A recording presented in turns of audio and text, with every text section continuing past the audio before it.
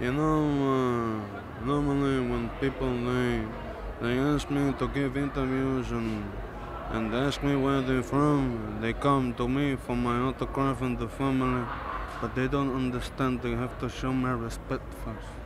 No respect in this uh, world in Denmark and what else they call themselves or something like that, No friend. respect. No respect. When you go to when you go to Italy, when you go to when you go to Sicily, We know what to give them. We need to give them something. they have to give the same respect in Denmark.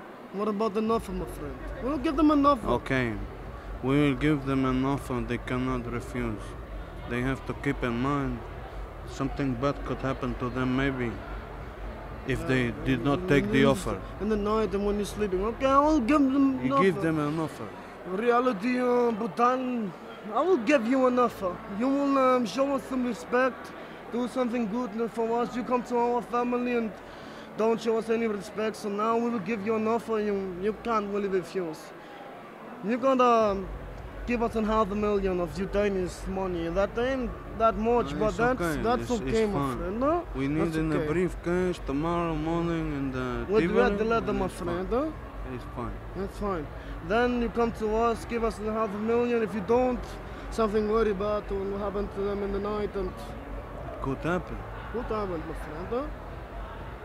Salud. Mashallah.